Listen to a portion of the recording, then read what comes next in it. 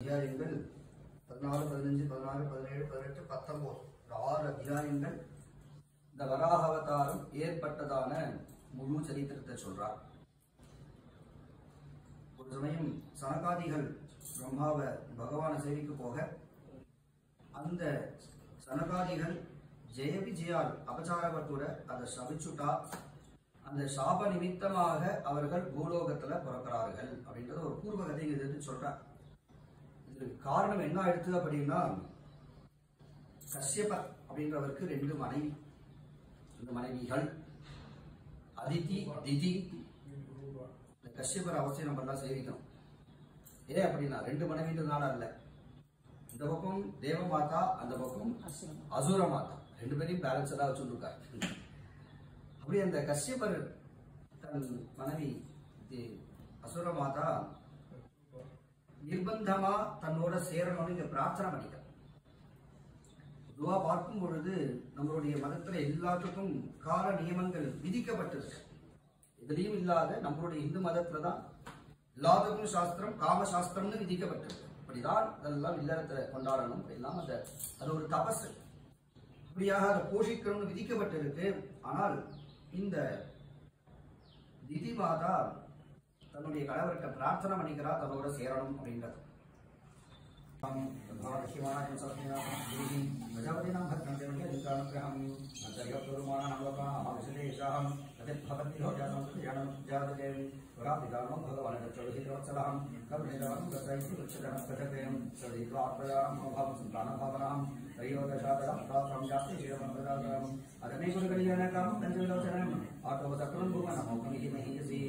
ताम्बीरामारिचक्रमणं भगवाटीं प्रत्याहावनं निर्वचकृद्धानगरस्वरं जडदेहं विधात्यं प्रियं हेरुदीच्छतीं तस्याः कामं नष्टकुर्यादतिभिर्वैवतिभियतां सर्वस्रवणोपादाय स्वस्रवणकर्तवान् शरणमत्यतिधनयामेहि यथाहम् या बाहुलात मागे तुमचे कामसेवाणी जसे प्रोग्राम घरात येत आहोत सर्वेश्वराम रामा सत्येंद्रियाला जयला स्वामी, हरिम जय मेला देश सुदोषिताम हरिम प्रभास्ताम स्वाम भगवतम विहेश्वरीम या विगावा का फिर नहीं था निवन उद्धाराम अदा विगावा में तुमसे सजा देगा वाक्यम विगावा मते वचन देव भट्टम विमारजम एटा घोर वेला घोराणाम घोर दर्शनाम चरन्ति स्वयं भूतानि भूते शानचराणि जयम् एतस्यां साध्ये सन्ति हरं भगवान् प्रभावनः शरीरः भूतपरिषद्धेः स्पृशेन अटति भूतराजन्।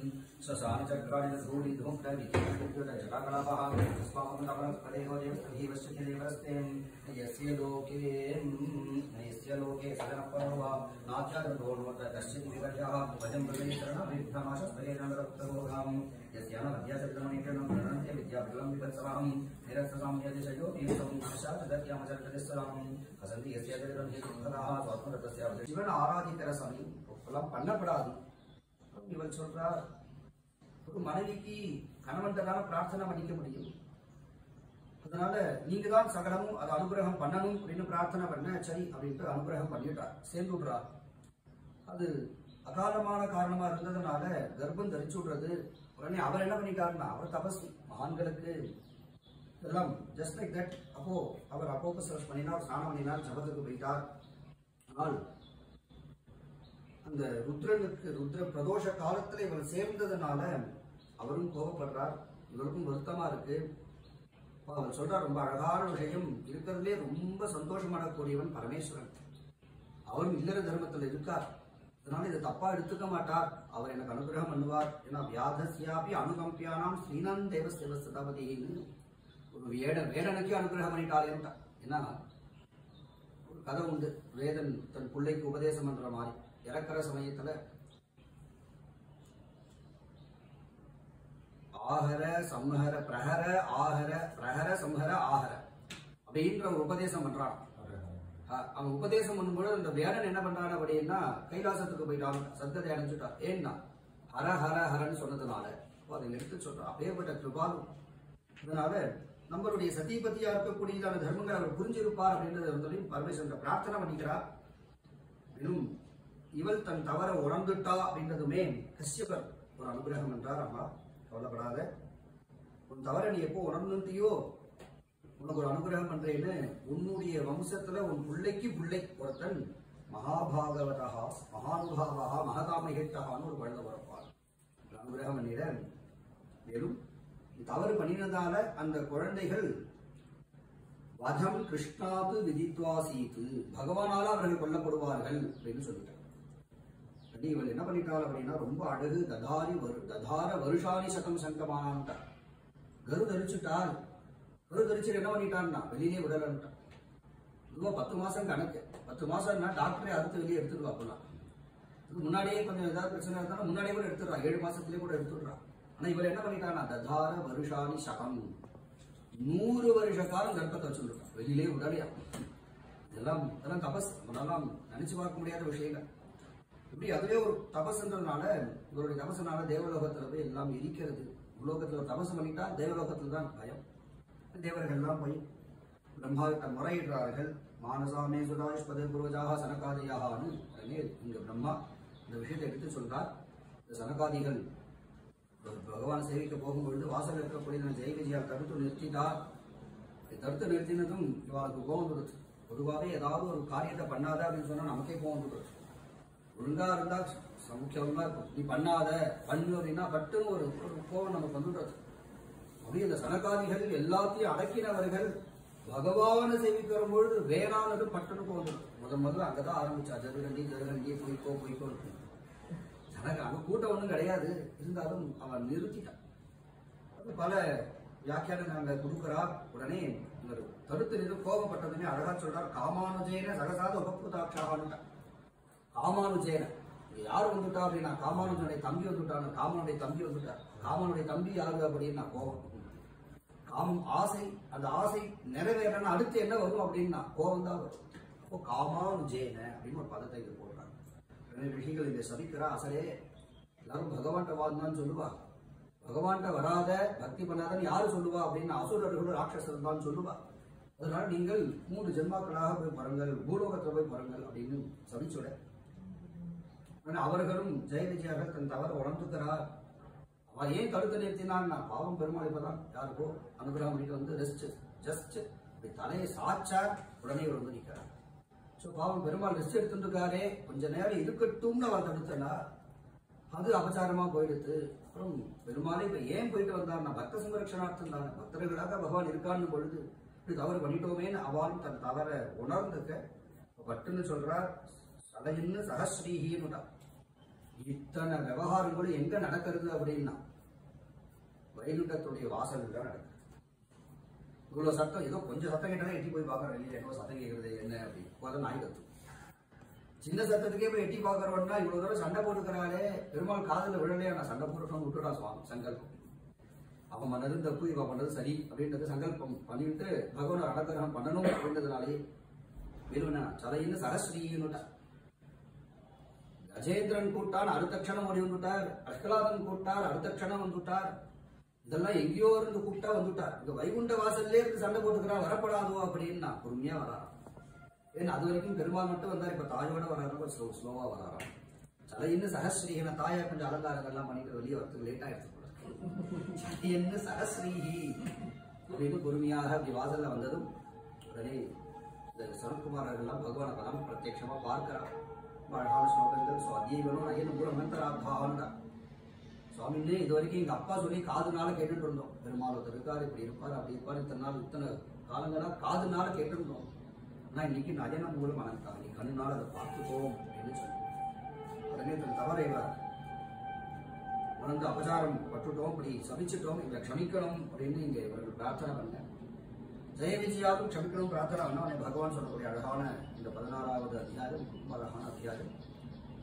பகவான் சாதுக்கள்கிட்டையும் பிராமணாள்கிட்டையும் எவ்வளவு ஒரு அன்பு வச்சுருக்கான் அவளை எவ்வளவு வசதியா வச்சிருக்கான் விஷயத்தையும் எடுத்து சொல்றான். சுவாமின்னு இவ பண்ணது தப்புதான். நீர் அவளை தண்டிச்சது சரிதான். காரணம் என்ன அப்படின்னா பிராமணர்களுக்கோ சாதுக்களுக்கோ யாரு அபச்சாரப்பட்டாலும் நான் பொறுத்துக்க மாட்டேன். சிவபாகுமபி சிந்தியாமட்டான். என் கையே சாதுக்களுக்கோ பிராமணாளுக்கோ அபச்சாரம் பண்ணிட்டேன்னா என் கையை கூட நான் வெற்றிட்டு வேண்டும் சுவாமி பெருமாள். அப்படி பிராமணர்களுடைய வசத்தை எடுத்து சொல்ற கௌரவத்தை சொல்றான் இன்னும் இந்த ரிஷிகள் தான் சொல்றா ஆ சுவாமி இவ்வளவு தூரம் சொல்றீரே. இவ்வளவு கௌரவம் ஏன் கொடுத்துக்கிறீர்கள் அப்படின்னா அவனுடைய ரூபத்துக்கு அல்ல. என்ன அப்படின்னு அந்த உலகத்தை நடத்தணும்னா தர்மம் முக்கியம். தர்மம் இல்லாமல் எதையும் பண்ண முடியாது. இப்போ அந்த தர்மத்தை ரட்சை பண்றது எது அப்படின்னா தர்மத்துடைய ஆதி வேறு தர்மத்துடைய மூலம் எது அப்படின்னா வேதம். அப்போ அந்த வேதத்தை யாரு தரிச்சுட்டு இருக்கா அப்படின்னா பிராமணர்கள் தான் தரிச்சுட்டு இருப்போம் அதனால நீ இவ்வளவு தூரம் கௌரவம் கொடுக்கல. அதனால இந்த வேதத்துக்கு தான் அவ்வளவு கௌரவம் அப்படிங்கிற விஷயம் தான் ரொம்ப அழகாக எடுத்து பேசுறாரு. உடனே அவர்கள் அனுகிரகம் நீ சரத்குமார் அவர்களும் கிளம்பி போயிட தேவஜியால பார்த்து சொல்றான் இது ஏன் நடந்ததுன்னா பகவான் இந்த ரகசியத்தை சொல்றான். இந்த மாதிரி தான் ஒரு தடவை தாயார் வந்தாலும் பெருமாளை பார்க்கலாம். நிறுத்தினார் ரமையா புத்தையா இதா? அப்போ ஒரு க்ஷணம் தாயார் கோபப்பட்டுட்டான் ஒரு க்ஷணம் கோபப்பட்டுட்டான் பொதுவாக தாயாருக்கு கோபம் வராது. நான் அப்போ தடு- தடுத்து நிறுத்திட்டேன். அந்த ஒரு கோபம் இப்படி ஒரு அபச்சாரம் பண்ணும்படியாக நேர்ந்தெடுத்து கவலைப்படாதீர்கள். உங்களுக்கு ஒரு அனுகிரகம் பண்ணணும்டா சுவாமி என்ன அப்படின்னா யாருக்கும் இல்லாத ஒரு அனுகிரகம் நாராயணியத்திலையும் பட்டத்திலையும் சொல்றார். சம்பிரம்ப யோகம் அப்படின்ற ஒரு யோகம். சன்னியாச யோகம் உண்டு பக்தி யோகம் உண்டு.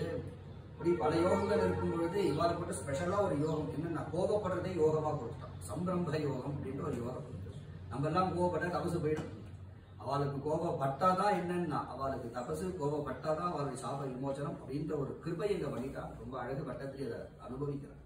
அதுபோல சம்பிரம்ப யோகமாக நீங்கள் என்கிட்ட துவேஷம் பண்ணிட்டு மூன்று பிறவிகளாக வந்து பிறப்பேர் அப்படின்ற அனுகிரகம் பண்ணிட்டு அவர்கள் இந்த ஏ- பூர்ணே வருஷத்தே சாத்தின்னு அவர்கள் தான் இப்போ இருக்கிறார்கள்.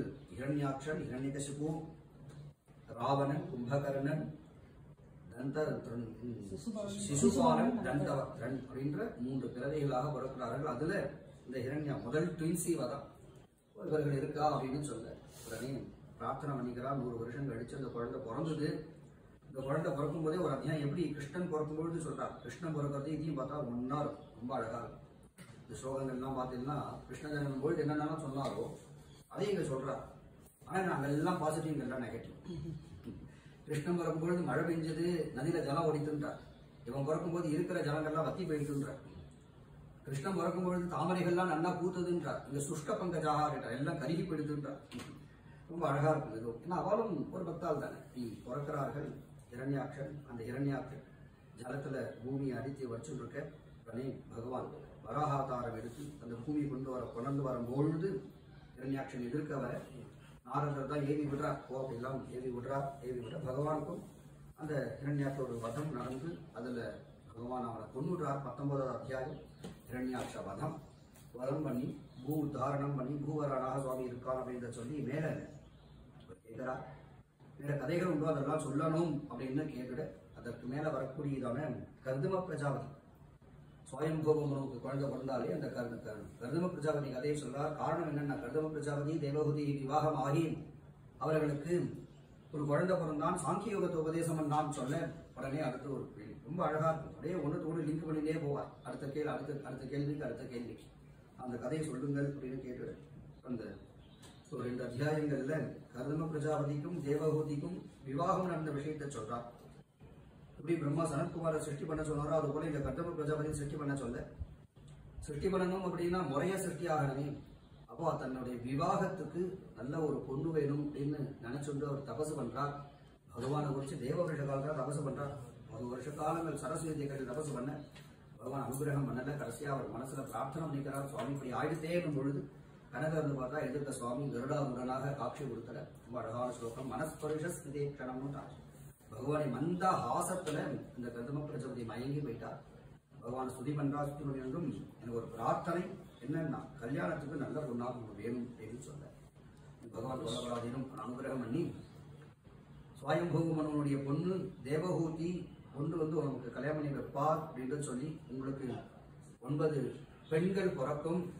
நானே உங்களுடைய குடும்பத்தில் அவதாரம் பண்ணி உங்களுக்கு பிரம்மோபதேசம் பண்ணுவேன் பலவிதமான உபதேசங்களை பண்ணுவேன் அப்படின்ற விஷயத்தை சொல்லி பகவான் பொறுமையா அந்தர்தாமானமாகி போறார். இப்படியாக இந்த கர்தம பிரஜாபதி.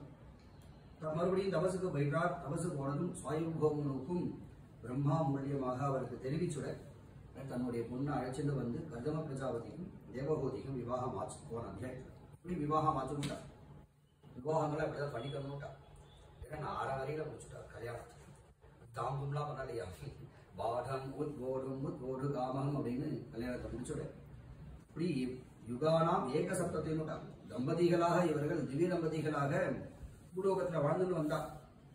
எத்தனை நாள் வாழ்ந்துட்டு வந்தா அப்படின்னா நம்மளே பார்க்கிறோம் எழுபது வருஷம் எண்பது வருஷம் வாழ்ந்துட்டா எப்படா போவோம்னு போயிட்டு அதையும் தாண்டி போயிடுத்து நூறு வயசுலாம் ஆயிடுச்சுன்னா எப்படா கூட்டிட்டு போவான்னு தோணி போயிடும். மனுஷ வாழ்க்கையை போர் வச்சிடும் என்னதான் இருந்தாலும். ஆனா இவன் என்ன பண்ணிட்டான் எழுபத்தோரு சதுரவிக்கும் சௌக்கியமா இருந்தான். மனுஷரா ஏன் எதனால அப்படின்னா எப்போ ஏன் போர் அடிக்கிறது ஏன் போர் அடிக்கலன்னா இன்ட்ரெஸ்ட் தான் முக்கியம். அந்த காரியத்தில் இன்ட்ரெஸ்ட் இருந்தா போர் அடிக்காது. இன்ட்ரெஸ்ட் இல்லைன்னா போர் அடிச்சிடும் இப்போ மனுஷ வாழ்க்கையில போர் அடிச்சுடுறது காரணம் பண்ணின காரியம். ஒரே காரியம். காத்தாலிருந்து ராத்திரி வரைக்கும் பல தேய்க்க அந்த பல்ல தேய்ச்சி தேய்ச்சி தேய்ச்சி ஒரு பல்லு கழுண்டே சரி போச்சே விடலாமான்னு அதையும் திருப்பி பல் சேட்டை வச்சு அதை வேற தனியாக கழுண்டு திருப்பி துணியை துவைக்கிறோம் மடிக்கிறோம் பாத்திரம் தேய்க்கிறோம் பாத்திரத்தை நம்ம துவைக்கிறோம் வீட்டை துடைக்கிறோம் வீட்டை ஒட்டுறோம். அது வருஷம் காத்தா இருந்து ராத்திரி வரைக்கும் இதே வேலை. ஒரு நாளா ரெண்டு நாளா? எண்பது வருஷமா இதையே திரும்ப திரும்ப திரும்ப திரும்ப இதுதானே. வேற என்னத்தை பண்ண போறோம்? ஒரே ஒரு விஷயம் தான் திரும்ப திரும்ப பண்ணா போடிக்காது இது நான் பாவகம் படிக்கிறது தான்.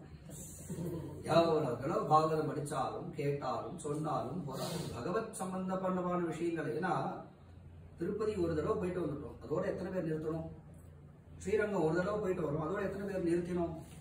புரிய தேவ கோயிலுக்கெல்லாம் போறோம் ஒரு தடவை போயிட்டு வந்துட்டா ஏன் நிறுத்தி? ஒரே தடவை தடவை போறோம். முதல் தடவை போனோம். ஸ்ரீனிவாசன் இப்படி இருந்தார். ரெண்டாவது தடவை போனோம். ஸ்ரீனிவாசன் இப்படி போனார். மூணாவது தடவை போனோம். ஸ்ரீனிவாசன் இப்படி இருந்தார் அப்படின்னு கிடையாது. முதல் தடவை எப்படி பார்த்தோமோ அதே மாதிரி தான் முதல் தடவையாவது கூட்டம் கொஞ்சம் கம்மியா இருந்துச்சு. பத்தாவது தடவை போகும்போது கூட்டம் அதிகமாயிடுச்சு. சரி சும்மா இருந்தோமான அவையும் போறோம். ஓ காரணம் என்னன்னா எத்தனை தடவை போய் அந்த பெருமாளை செய்ய வச்சாலும் எத்தனை தடவை அந்த கோவிலுக்கு போனாலும் அழுப்பு தட்டாது. இதுவே நமக்கு வாக்கப்பட்ட அந்த மாமையராத்துக்கோ இல்லை வாக்கப்பட்ட ஆத்த நம்ம புத்தாத்துக்கோ எங்கேயாவது போனால் ஒரு தடவை போறதுக்கே மனசு ஒத்துக்க மாட்டேங்குது. இது எங்கிறது வருஷா வருஷம் ஏதாவது சில அந்த காலத்துல வச்சுருந்த வரணும் நாலு தடவை போகும்போது போடுச்சு காரணம் என்னன்னா இங்க போடிக்காது இங்க போடிக்கிறது காரணம் பகவத் சம்பந்தப்பட்டமான விஷயங்கள் தர்ம காரியமான விஷயங்கள் எந்த காலத்திலையும் போர் அடிக்காது. அதனால இங்க சொல்றார் அப்படியாக இவர்கள் வாழ்ந்து நாம் சொல்லி முடிக்கிறார் மேல அந்த ஒன்பது கன்னிகள் பிறந்துடுறா அடுத்த அத்தியாயத்துல கபில வாசுதேவனாக பகவான் அவதாரம் பண்ணி உபதேசங்கள் பண்ண ஆரம்பிக்க போறார். சத்குரு மகாராஜு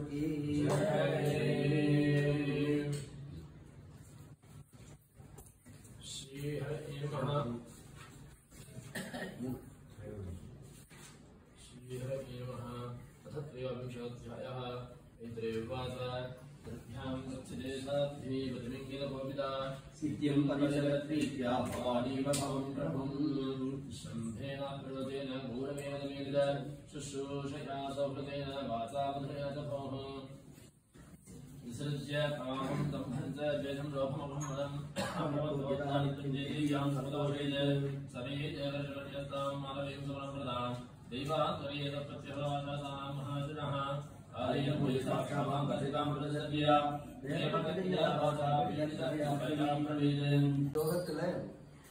நம்ம பண்ணுறதுலாம் ஹட யோகம் அது பண்ணால் வெயிட் லாஸ் ஆகும். முட்டுக்காரெலாம் சரியா இருக்கும். கீழே உட்காரலாம். இப்படிலாம் இது ஒரு எக்ஸசைஸ் மனசு அடங்காது. மனசு அடங்கணும்னா இந்த அஷ்டாங்க யோகத்தை அபியாசம் பண்ணணும் அப்படின்றத சொல்லி அது எப்படி பண்ணணும்னு ரொம்ப அழகாக எடுத்து சொல்லிட்டு வரார். சொல்லிட்டு வந்து அந்த ஹிருதயத்தில் வரக்கூடிய சிந்தனையில பகவானை ஹிருதயத்துல நிறுத்தணும். எப்படி நிறுத்துறது அப்படின்னா இங்க பகவானுடைய பாதாதி கேசவன் ரொம்ப அழகா இதை வர்ணிக்கிறார். பகவானுடைய தோல் பகவானுடைய கைகள் பகவானுடைய கண்கள் பகவானுடைய மூக்கு பகவானுடைய நாபி. சொல்லி அதுக்கு ஒரு உபமானத்தையும் கொடுத்து ஹிருதயத்துல ரொம்ப அழகாக அதை திட்ட பண்றார் அழகான அத்தியாயம் श्रीभगवानुवाच योगस्य लक्षणं वक्षे सबीजस्य लपात्मजे, मनोजेनैव बीजना प्रसन्नं याति सत्पदं धर्माचरणं शक्त्या धर्माच्च निवर्तनं दैवालब्धेन सन्तोष आत्मविच्चरणाक्षरम् कर्मनिवृत्तिश्च मोक्षं नरदेस्तदा न च वेद्यादानं सस्वविविक्तक्षेमसेवम् अहिंसा सत्यमस्तेयं जावद्वाष्टपरिग्रहः ब्रह्मचर्यतपःशौचं स्वाध्यायप्रचारचणम् मौनं सदा आसनजयस्थैर्यं प्राणजयस्तनैः।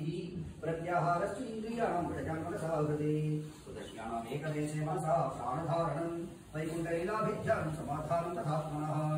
एते रण्येश्वरतिभिः मनोरुक्तमसत्पथम् बुद्ध्यायुञ्चितशरकैः चिरप्राणो हि अनन्तितगाम् सुचौदेशे प्रदेष्टाब्दे विजितादनादनम् तस्मिन् स्वस्तितमादीन कृतकालसमुख्यसेत् प्राणस्य शोधिजिन्दागुम् पूर्वम् भगरे च देहेम् प्रतिकूलेन वा चित्तम् तथा सञ्चलम् वाचित्तं तथाप्येन चञ्चलम् चिरात्यागनसञ्चितश्वासतियोगिनः वाचित्संसदारोहं मातं व्यतितरीमणम् रामाजामादे रामाजामे जयदोषानुधारणाभ्यचर्तिं विकान् प्रत्याहारेण संसर्गां ध्यानेनाधीश्वरान् गुणान् रावणस्वं विरजं योगेन सुतमाहितं काट्टां भगवतोऽध्यादेव स्वनाभ्यासावलोकनं प्रसन्नवदनां बोधनं पद्मलद्भा கடைசியில பார்த்தா என்ன எடுத்துருந்தா சிவநாமத்திலே துவேஷம் வந்துட்டாங்க ஏன்னா நாம அபராதம் ரொம்ப கொள்ளாததுன்னு பகவான் நாம போதத்திலே சொல்றாங்க. எப்போ உனக்கு சிவநாமத்திலே வேகம் வந்துருக்கோ உன் வாழ்க்கையில சிவமற்று போகட்டும் அப்படின்னு கொடுத்துடுறார் சிவம்னா மங்களம். அதிதேவியானவன் இனிமே என்னை எல்லோரும் தாக்ஷாயணி தாக்ஷாயணின்னு தான் கூப்பிடுவா. தக்ஷனுடைய பொண்ணு தான் என்ன கூப்பிடுவா. இனிமே இந்த நான் உயிரை வச்சுக்க போறதில்லைன்னு அந்த க்ஷணமே பசுமாக்கின்றான் ரொம்ப அழகான அந்த ஸ்லோகங்கள். அந்த பொண்ணுகளுக்கு கூட வேற உபாயம் கொண்டு வரல. பெட்ரோலை போட்டு மேலே போட்டு கொளுத்திக்கிறதோ கையில போட்டு கழுத்துல துணிக்கிறதோ அதெல்லாம் பண்ணிக்கல. என்ன பண்ணா அப்படின்னா தன்கிட்ட இருக்கக்கூடிய யோகாக்னி. நம்ம எல்லாருக்குமே ஜனராக்னின்னு ஒரு அக்னி இருக்கு. எல்லாருக்கும். வயிற்றுல ஒரு அக்னி இருக்கு. இந்த அக்னி தான் எல்லாத்தையும் போட்டா பசுமாங்க அது போடலன்னா வயிறு எரியாது. போட்டா கூட வயிறு எரியும். அது வேற அக்னி அது. இது ஜடராக்னி யோகாக்னி. அப்ப அந்த யோகாக்னியை தன்னுடைய யோகத்தினால பொறுமையாக கொண்டு வராங்க. ரொம்ப அழகாக அதை வர்ணிக்கிறார். பொறுமையாக கொண்டு வந்து ரூமத்தியத்தில் அந்த அக்னியை வச்சுண்டு தன்னுடைய பர்த்தாவனுடைய சிவனுடைய திருபாதார விந்தத்தை ஹிருதயத்தில் நினைச்சுட்டு அந்த க்ஷணம் பஸ்மம் ஆயிட்டார் பஸ்மம் ஆனதும் ரொம்ப அழகு. இங்க சிவன் எப்படி இருக்காருன்னா ஆசுதோஷம் சிவன் நம்ம எதை நினைச்சுட்டு கோபப்படுறார் கோபப்படுறார். சாந்த சுரபி கிருஷ்ணன் சிவனா. நீ சதிதேவி பஸ்மமாயிட்டா? உலகமே பயப்படுறது என்னாக போறதோன்னு. ஆனா சிவன் எப்படி இருக்கார் பரமேஸ்வரத்துல? சாந்தா சம்சாந்த விக்கிரகான்ட்டா கோவப்படாம இருந்துருக்கார் நாரதாதிக்கு போய் சொல்றா சுவாமி நீ இப்படி இருக்கிறே என்ன நான் கோவப்படணும் அப்படின்னு அவர் சொன்னப்புறம் கோவப்பட்டா. இப்படி கோவப்பட்டதும் இந்த கோவத்துடைய ஒரு சொரூபமாக வீரபத்ரன் ஆயிரம் கைகள் இருக்கக்கூடியதான வீரபத்ரன். இப்படி பல ருத்ர கணங்கள்லாம் காணப்படுறது பிரதானியம் அந்த வீரபத்ர சுவாமி வரை. அந்த வீரபத்ர நேரா போய் இந்த தட்சணுடைய யஜ்ஞ யாகசாலையில் போய் அத்தனை பேர் அடிச்சு உடைக்கிறார். ரொம்ப அதெல்லாம் வர்ணிக்கிறார். தாயார் என்ன பண்ணினார்? கண்ணை குத்துறார் பல்ல உடைக்கிறார். துர்குவனுடைய தாடியை பிடிச்சி எரிஞ்சார். எல்லாத்தையும் அடிச்சு உடைச்சு கடைசியா தட்சனுடைய தலையை வெட்டினார். அது இந்த அக்னிகுண்டத்துல மூன்று அக்னிகள் உண்டு. அதுல தட்சிணாக்னின்னு ஒரு அக்னி. அந்த அக்னியில இந்த தட்சனுடைய தலையும் போய் விழுந்துருந்து பஸ்மமாயிடுறது இட பகு காலம் போகிறது. இப்போ பிரம்மாதி இருக்கிறார்கள்லாம் பிரம்மாதிகள்லாம் போய் பரமேஸ்வரன் போய் பிரார்த்தனை பண்ண போறா தேவாதிகள்லாம். ஏன்னா எல்லாம் தம்பத்தியோட இருக்கணும் யுகலமா இருக்கணும். அதுதான் அழகு. இப்போ இங்க வெறும் சிவன் தான் இருக்கான் சிவசக்தியாக இல்லை. இப்போ இங்க போய் சிவனை பிரார்த்தனை பண்றா. சிவன் எப்படி இருக்காருன்னா தட்சிணாமூர்த்தியாக இருக்காருன்னு வர்ணிக்கிறார். பெரிய ஒரு ஆலமரம். இந்த ஆலமரத்துக்கு அடியில உட்கார்ந்து சுவாமி சின்முத்திரையோ சின்முத்திரையோட ஒரு காலம் தொங்க விட்டு ஒரு காலம் மடக்கிண்டு கையில மாலையை வச்சுள்ள ஜபமணிக்கு தட்சிணாமூர்த்தியாக சுவாமி காட்சி கொடுக்க. ஏன் வந்த தேவர்கள் எல்லாம் பிரார்த்தனை பண்ணிக்கிறா சுவாமி. இது போல ஒரு சத்காவியம் இன்னும் போய் சொன்னாலேயே வெறும் நீர் ஏகாந்தமா இருக்கே. இதே சதி தேவி தான் பர்வதராஜ புத்திரியாக பார்வதியாக அவதாரம் பண்ணியிருக்கார். நீங்கள் அவர் ஸ்வீகாரம் பண்ணிக்கணும். எல்லாம் பிரார்த்தனை பண்ணிக்க. இந்த அத்தியாயம் இந்த கைலாச வர்ணனை பாகவதத்துல நிறைய வர்ணனைகள். போன ஸ்கந்தத்துல பதினஞ்சாவது அத்தியாயம் வாசிச்சோம் அது வைகுண்ட வர்ணனை இதுல கைலாச வர்ணனை. மைத்ரே உவாச்ச அத தேவகணா சர்வே ருத்ராணி கேட்பனாச்சிதாக அவரவர் தன் தவற உணர்ந்தவரனே பகவான் அங்க பிரத்யட்சமாயிட்டார் வாசுதேவன் பகவான் பிரத்யட்சம் ஆகிற அத்தனை பேரும் பகவான் ஸ்துதி பண்றான் ஸ்துதிதான் வாசிச்சோம். பகவான் கடைசியா சொல்றான் ரயானாம் ஏகபாவானும் இந்த லட்சயஜம் பாவத்துக்கு வச்சதுக்கு காரணமே என்ன அப்படின்னா சிவன் விஷ்ணு அப்படின்ற பேதம் பார்க்கப்படாதுன்னு ரயானாம் ஏகபாவானா மூணு பேரும் ஒரே பாவத்துல இருக்கணும். பிரம்மா விஷ்ணு சிவன் அப்படின்ற மூணு பேரையும் ஒரே பாவத்துல தான் நம்ம பார்க்கணும். அதுல பேதம் பார்க்கப்படாது. சிவபக்தி பண்றதுனால விஷ்ணு நிந்தனை பண்ணணும் அவசியம் கிடையாது. விஷ்ணு பக்தி பண்றதுனால சிவநிந்தனை பண்ணணும் அவசியம் கிடையாது. எந்த தெய்வத்தை நம்ம பக்தி பண்ணிட்டு இருக்கோமோ அந்த தெய்வத்தையே எல்லா தெய்வமாவும் பார்த்துடுறோம். அம்பாள் கோயிலுக்கு போனாலும் விஷ்ணுவா பார்த்துருது சிவன் கோயிலுக்கு போனாலும் விஷ்ணுவா பார்க்கறது. இல்ல விஷ்ணு கோயிலுக்கு போனாலும் சிவனா பார்க்கறது. ஏன்னா திரையானா ஏக்க பாகம் எல்லாம் ஒன்று தான் இருந்தார் ஒரு ஒரு சுகீந்திரம் ஆ சபாஷ் இருக்காரு. கோவிலே பிரம்மா விஷ்ணு சிவன். தாழ்நாள் அயர்ந்த பேர் அவருக்கு பிறந்ததுலேருந்து நாலு வருஷம் டெய்லி போயிட்டு வருவோம் அப்புறம் ரொம்ப போயிட்டு காட்டில் நடுவில் சபாஷ். நீங்க சொல்றதோட ஏக பவானம் அந்த கோயில். அதனால சொல்றார் அப்படி பார்த்துட்டால் மனசுல நிம்மதி ஏற்படும். மூணு ரூபமும் ஏன் நாங்க வச்சிருக்கோம்னா ஒரு காரியத்துக்காக தான் இருக்கா? சிறுஜன ரக்ஷன் அரங்கம் ஒரு காரியத்துக்காக நாங்களே ஒரு ரூபமா இருக்கோம் விஷயத்தை நாங்க எடுத்து சொல்லி பகவான் அந்தர்தானமாக இந்த பரமேஸ்வரனும் இந்த பார்வதியை விவாகம் நின்று பார்வதி பரமேஸ்வராக என்று காரணம் சொல்லி முடிச்சார் அதற்கு மேல வரக்கூடிய இந்த அத்தியாயம் துருவச்சரித்திரம் எட்டாவது அத்தியாயத்தில் ஆரம்பித்து துருவச்சரித்திரம் ஆரம்பம்.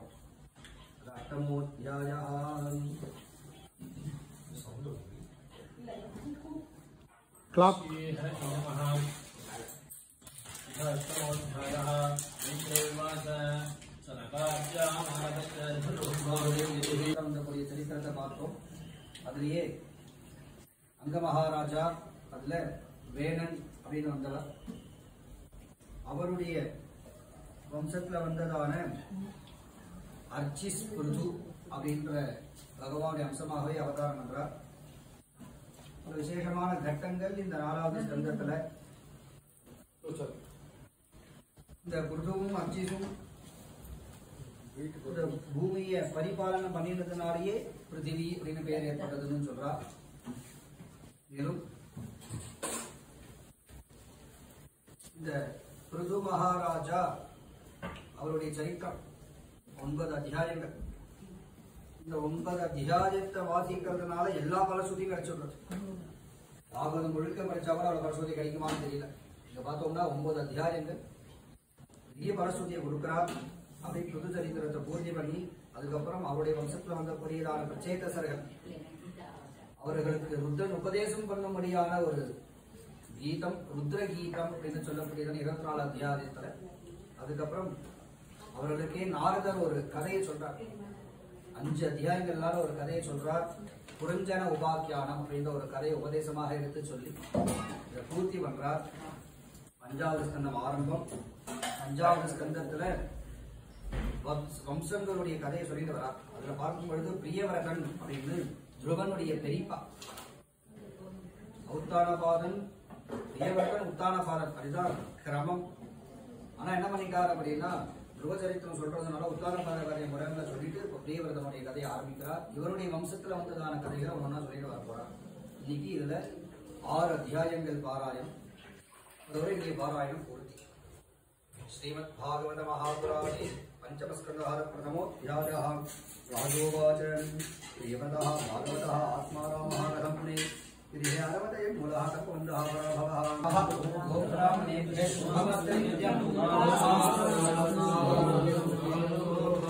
लोकाः समस्ताः सुखिनो भवन्तु सुता सुखिनो भवन्तु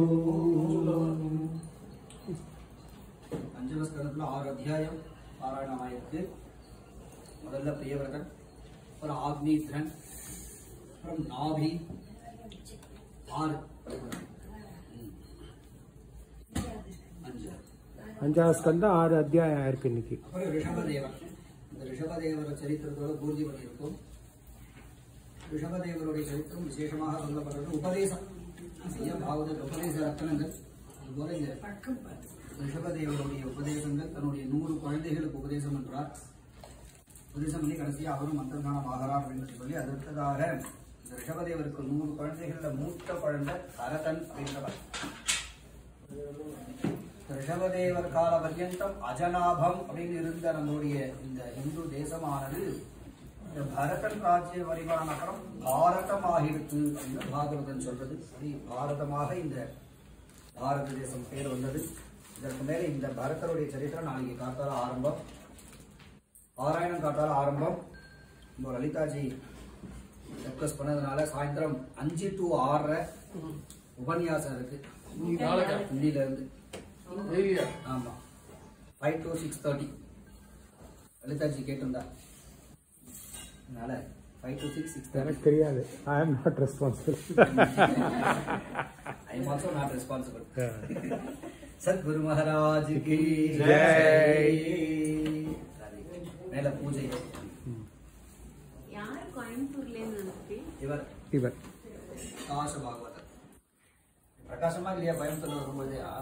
இவா கோயம்புத்தூர் சமாஜத்துல கோவையில ராம்நகர்ல. நடவடிக்கை சரித்திரம் நாராயணத்தை சொல்ல விட்டுட்டு அது அனந்தராம தனியாக எழுதியிருக்கார். விசேஷமான சரித்திரம். அவன் சரீரத்தை எடுக்க போறார் சொல்ல என்ன. அதனால நாராயணத்துல எல்லாமே இருக்கு. எல்லாம் வந்து சுருக்கி எழுதியிருக்கா. ஆயிரத்தி நாற்பது ஆயிரத்தி நாற்பது அது வந்து எல்லாமே நடந்து அதனால நிவாசிகள் நாராயண நிவாசாலே பகவான் வாசம் மாதிரி எல்லாம் தெரியாது இல்லைங்கில்ல இருந்தாலும் இந்த ஜனபத திருத்துறதுல வந்து ரொம்ப விசேஷமா போட்டிருக்கா. நல்ல பண்ணியிருக்கார் என்ன? அவர் மாத்திரையத்தை எடுத்து இது பண்ண பற்றி பிரமாதம் எழுதியிருக்காரு முத்துராமகிருஷ்ணன் தான் ஆமாம் அவர் கடிதத்தை விட்டுட்டார். இப்படியே விட்டுட்டார் மாத்திரத்துக்கு அப்புறம் மறுநாள் ஏன் விட்டுட்டாருன்னா இவர் எழுத்துட்டு அவர் விட்டுட்டார்.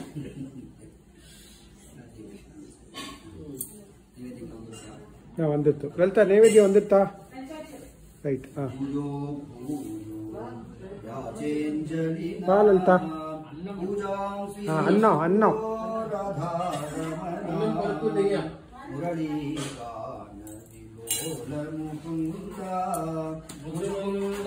प्रिय परमानंदा गोकुलभूषण गोपकुमारी मनोहर जारा फूलो फूल राजेन्द्र कर्पूरादत्त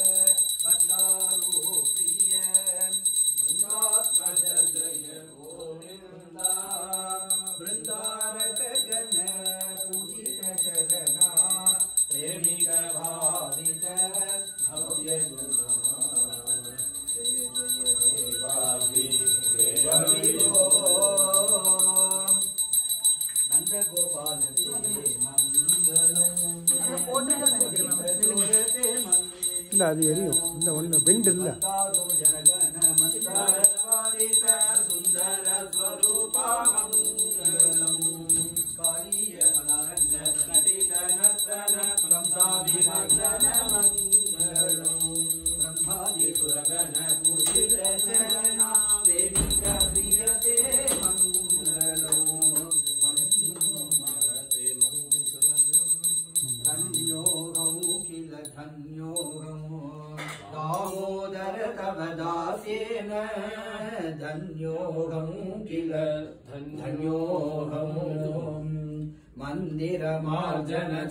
चन्दनमर्दन वन्दन वन्दनैः वस्त्रशोधन पुष्पसमर्पण मङ्गलदीपाद्युपचारैः छत्रग्रहण கையை தொடச்சுக்க கையை தொடச்சுக்க श्रवणैः पादसेवन भाग्यप्राशन पादार्पित तुलसी ग्रहणैः भगवद्गीता भागवतादिक पठनैरन्यै स्तोत्रैश्च सज्जनप्रेमिकसङ्गेनैवम् सङ्गतम् नामस्मरणेन धन्योऽहं किल धन्योऽहम् आरती आरती ललिता आरती ஆரத்தி எடுக்கும் ல- லலிதா ஆரத்தி லலிதமான ஆரத்தி அப்படியே ஒன்று தேவா ஜெய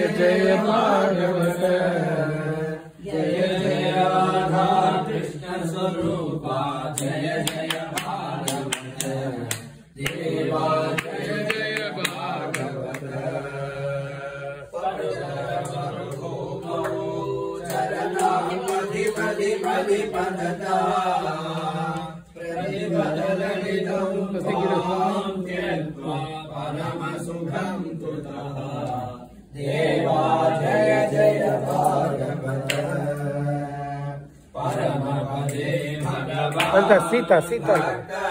Cita, cita.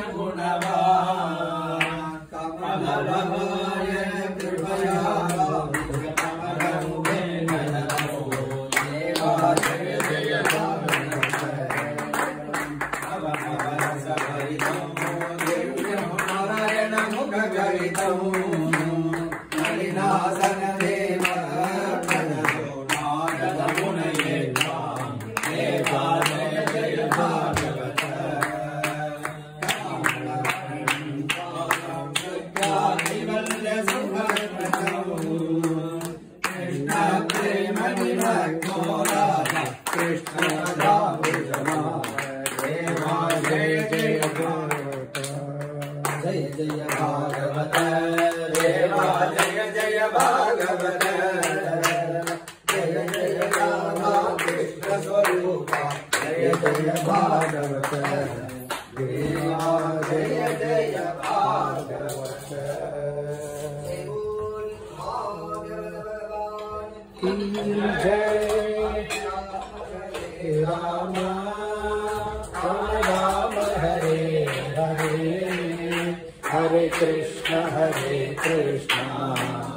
कृष्ण कृष्ण हरे हरे। हरे राम हरे राम। राम राम, हरे हरे। हरे कृष्ण हरे कृष्ण। कृष्ण कृष्ण, हरे